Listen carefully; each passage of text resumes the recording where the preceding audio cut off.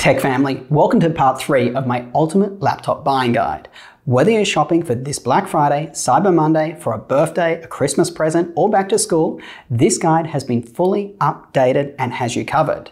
Now, in part one of the guide, I covered some helpful tips and tricks that you should definitely watch that will help you save money. It also covers laptops under 800 US dollars. Now, in part two of the guide, I cover my recommendations for laptops from 800 US dollars to 1,200 US dollars.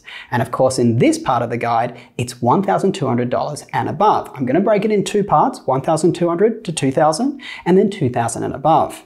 Now, if you're new to the channel, I'm Josh, and I buy and review a lot of laptops and talk tech from the perspective of what it's like to own and use these devices.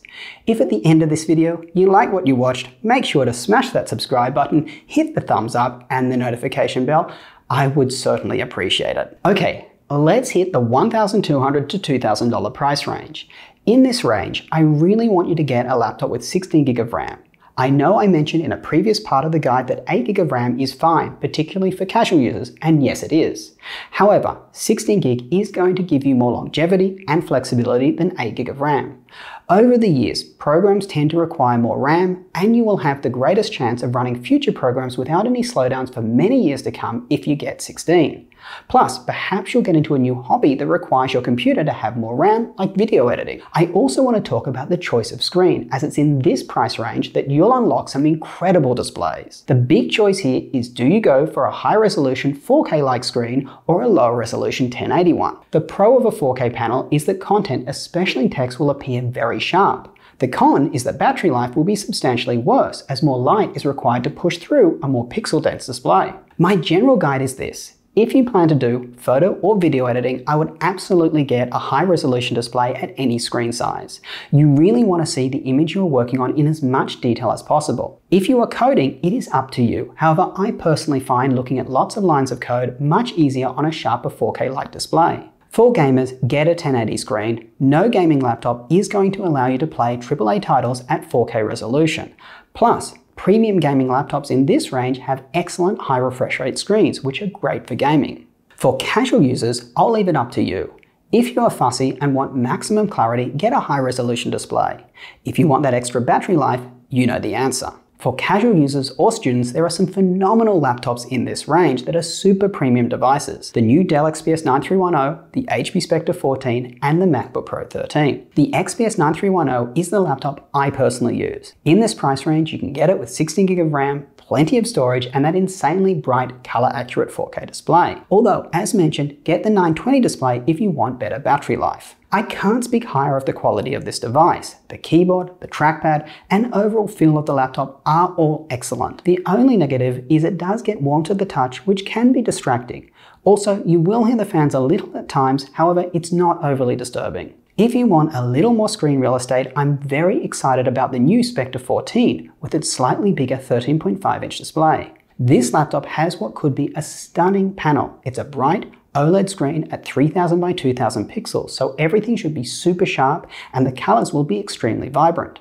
Great for watching movies. It is configured in a 3 by 2 aspect ratio. This means you will see a ton of vertical screen space, which is ideal for working in Microsoft Word or viewing content on the web both which go down the page. The only downside here is that you will see substantial black borders above and below movies. This laptop, like the Dell XPS, comes equipped with Intel's new 11th gen processors and can be fully specced up with plenty of RAM and storage. I should have a review out very soon, so make sure to get subscribed and click that notification bell. At the time of making this video though, I'd only recommend buying the Spectre 14 if you can get it with hassle-free returns, as I don't know whether it will live up to the hype. The MacBook Pro 13 is also a laptop I'd strongly consider in this price range, even though it has the smallest screen of the bunch at 13.3 inches and the biggest bezels around it, making the laptop appear larger and a little dated. That being said, Apple's macOS does an excellent job of allowing you to see the maximum amount of information you can on that small 13.3 inch display. Better than Windows in my opinion. The laptop also has decent cooling and excellent speakers. The only thing I don't like about it is I find Apple's keyboards to feel shallow and uncomfortable. Yes, I do mean their latest Magic keyboards. They are better than the older ones and having a physical escape key certainly helps, but not as good as the Dell XPS in my opinion. If you're going to go down that path, try to wait till my review on the new model with the M1 chip is out. We all know the new M1 chip is insanely powerful, has great thermals, and gives the laptop excellent battery life. I'm producing a ton of content on this laptop and working on a video comparing the three laptops in great detail. It should be dropping shortly after this video, so make sure you are subscribed and have clicked that notification bell. Alright, if you're a coder shopping in this price range, all three of the laptops I previously mentioned are excellent options. I'd probably lean towards the Spectre for its bigger screen size and 3x2 aspect ratio. However, if you do want something more tailored for your needs with much more power, I'd look at Lenovo's ThinkPads, particularly the T-series with AMD, models T14 and T14S. These have 14-inch screens, and at this price range you can really spec them up, with AMD's powerful 8-core 16-thread 4750U processor 32GB of RAM, 1TB SSD, and Lenovo's bright 400 nit low power screen. These laptops have the best keyboards you can buy, super comfortable for coding on, and with those powerful components, you'll have the best chance on a laptop to tackle even the most complex coding tasks, assuming you aren't coding for something that requires a powerful GPU, i.e. machine learning that will benefit from CUDA acceleration available on an NVIDIA GPU. Hang tight as I have a recommendation for you. By the way, the T14 has one RAM slot that is user accessible, Ethernet and better thermals. The T14S on the other hand has soldered RAM but is much lighter. If you do go for the T14 and can only afford 16GB of RAM now, you may want to consider ordering it in single channel, soldered for now, so you can add a second 16GB of RAM stick later on to get it to 32. The main sacrifice for the ThinkPad T series is that you will get a less pixel dense display than the XPS Spectre and MacBook Pro that I mentioned earlier.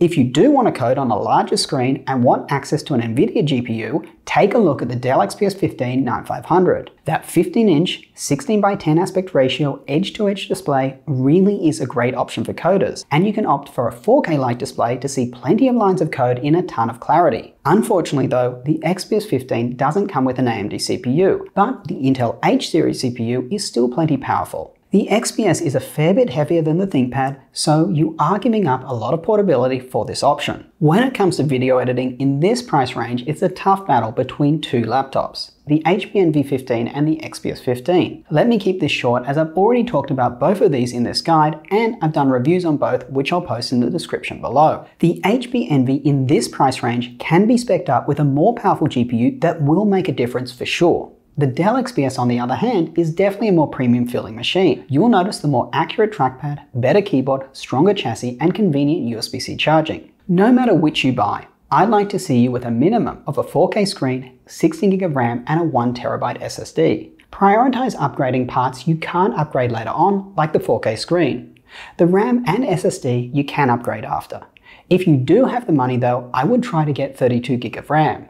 There are some gaming laptops you could look at in this price range for video editing, such as the Aero 15 with its OLED screen. I personally find the fan noise of this laptop far more disturbing than either of the laptops I mentioned, and it's a bit bigger and bulkier. For gaming in this price range, I personally didn't review enough laptops this year, so let me bring in an expert.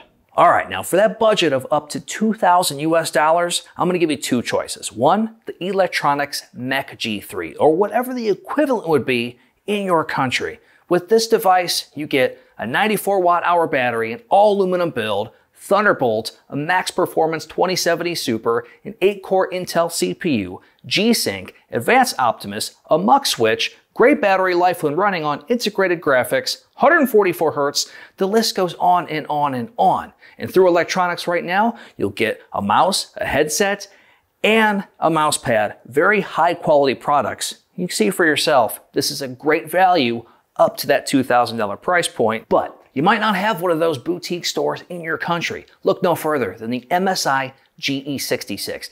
Everybody loves this laptop. And for around 2000 US dollars, you can find this with a 6-core Intel CPU and a 2080 Super Max Q if you look hard. But right now, for $1,800 at Best Buy, you can get this with the Intel 8-core CPU and the 2070. All in all, a very nice product, and I know people personally who went out and bought this device for themselves after reviewing it great machine, and I highly recommend it. I'm gonna have to go with Bob on this one and pick an Intel based model, as we just still don't have AMD based laptops with graphics above RTX 2060. I'm gonna have to pick the Eluktronics Mech 15 G3, also sold as the Neo 15 from XMG in Europe, which is what I've got here, or the Infinity W5 here in Australia. It's a chassis from Tongfang and the most impressive gaming laptop I've tested all year. The build quality feels excellent, gaming performance is above average, thermals are great, you can disable Optimus to boost gaming performance, it's got Thunderbolt, an SD card slot, mechanical keyboard, large battery, a decent screen, I could go on. It's around 1700 US dollars for the RTX 2070 model, or you can upgrade to 2070 Super for $200 more and still fit comfortably within that price range.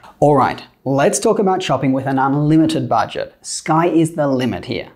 For casual users and students, you really can't get better than the laptops I already mentioned in the prior price range, like the MacBook Pro 13, the XPS 9310, and the Spectre 14, so my recommendations stay the same for you. For programmers, I'd really like to see you with a powerful CPU, 32GB of RAM, at least 1TB of storage, and a large screen to be as productive as possible. Your storage needs will of course vary depending on what you are coding. If you are working with a lot of large datasets, you will need more. Also, if you are coding for games or machine learning, as mentioned, you want to pick up a laptop with a strong dedicated graphics card. There are two paths I'd take at this price range. If you need portability, I'd go with the MacBook Pro 16. Even a year after its launch, I still feel this device packs the most power in a portable, high quality chassis with plenty of other benefits.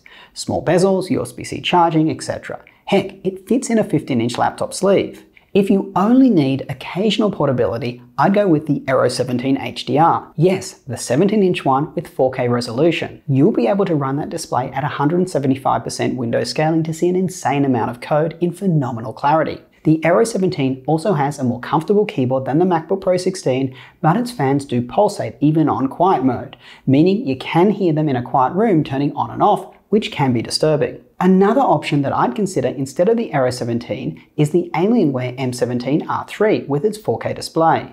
It will be somewhat similar to the Aero 17, however with better build quality but a higher price tag. Both the Aero 17 and Alienware M17 will give you access to extremely powerful graphics like the 2080 Super. Oh, and before anyone says which laptop for Linux, as someone who ran Fedora on laptops for ages, I haven't forgotten about you. And I do plan to tackle that topic in the near future. In fact, I am considering adding Linux compatibility to my standard suite of tests for 2021.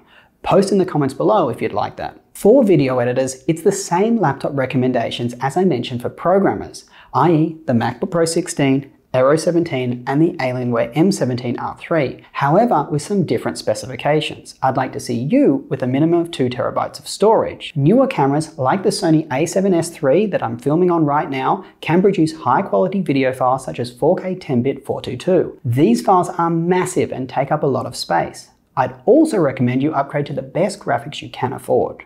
You might ask, why haven't I mentioned the Dell XPS 17 9700 or the Razer Blade Studio? I really like the Dell XPS 17 and I bought one for myself.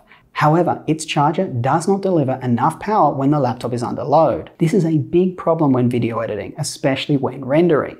This will likely eat into the battery. I simply cannot recommend a laptop with this issue and that's the reason I returned mine. The Blade Studio on the other hand, the keyboard is just too uncomfortable for me. It's also very shallow. And when that thing gets going, it is uncomfortably warm to the touch. Lastly, Razer power limits the CPU to just 45 watts, so you aren't going to get the performance anywhere near the other laptops I've recommended. By the way, these three issues are why you haven't seen me recommend any Razer laptops in this guide. I do have another guide comparing high-end laptops which does include a lot of details on the Razer, which I'll link below. And now Bob, who has a rather ridiculous recommendation for an unlimited budget gaming laptop. For that no holds barred, Bob, I don't care what it costs, give me the best. Okay, all right, fine. You asked for it. How about this 10 pound Clevo X170? Not just how about this X170, this is the one you want.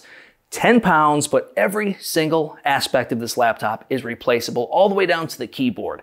The 2080 Super, you can replace it. The 10 core Intel LGA socketed processor, you can replace it. All four memory DIMMs, Wi-Fi, Four storage solutions, all M.2, replaceable, replaceable, replaceable. This is the bee's knees when it comes to laptop performance, but starting price on this is usually around $2,900. Not for the faint of heart, but incredibly powerful and it does not take a brain surgeon to repair or replace parts on the X170. Well folks, I'm absolutely spent. That was the biggest video I've ever done. In fact, it was three separate videos making up this ultimate guide. Big thanks to Jarrod from Jarrod's Tech and Bob from Bob of All Trades for dropping in to give you their recommendations.